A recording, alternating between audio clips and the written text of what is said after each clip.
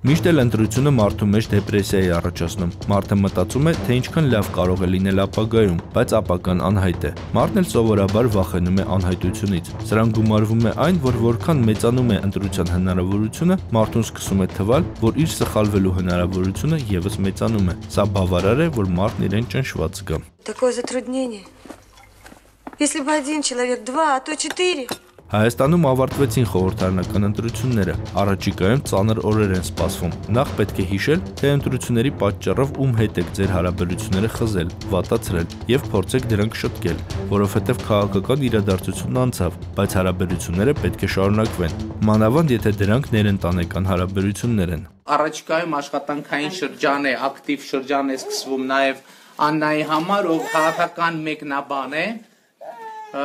եւ Քարոզարշավը փչացնում ես, բալիկ ջան։ Ընտրությունները որոշակի բացահայտումներ արեցին։ Օրինակ, առաջադրված տեխնացուների ընդհանուր թիվը ցույց տվեց, որ արտագաղթի վերաբերյալ բոլոր խոսակցությունները սին են ու փուչ, կամ որ վերջին զանգի կոստյումը կարելի է հագնել նաև նախընտրական շրջանում, մանավանդ որ խոստումները կարող են լինել նաև ոչ հոդաբաշխ։ Անհասկանալի ու դժվար կարող են լինել նաև ընտրողների արձագանքները։ Ճիշտ ասած, ինձ միշտ հետաքրքիր է եղել մանրամասը գուսակցության վերաբերյալ եւ այլ հարցերի վերաբերյալ պետության պետության վերաբերյալ հիմքում Ընտրությունները հերքեցին այն ավանդական պատկերացումը, թե միայն հայ տղամարդիկ են սիրում Ռուսաստանից եկած կանանց։ Պարզվեց, որ հայ կանայք էլ սիրում են Ռուսաստանից եկած տղամարդկանց, մանավանդ եթե խոստումներ են տալիս ու վարչապետ են։ Սրան գումարվեց այն, որ երկարատև ցուրտ ձմռանից հետո գարնանն ավելի ուժեղ է զգացվում սիրո կարիքը։ Կանանց եւ աղջիկների 80%-ը ձեզ համակրում են։ Ոնց է լինելու վերջը վերջը լավա լինելու, ես էլ գնալու եմ մեր տուն։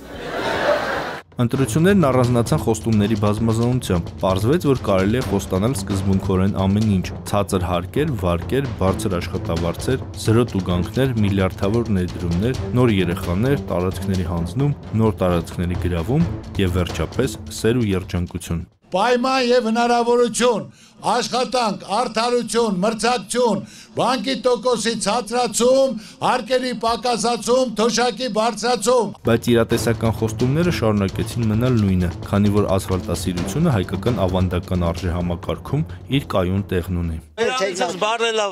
հենց հիմա կանչից տետ գադու։ Որնա։ Ասֆալտանողին։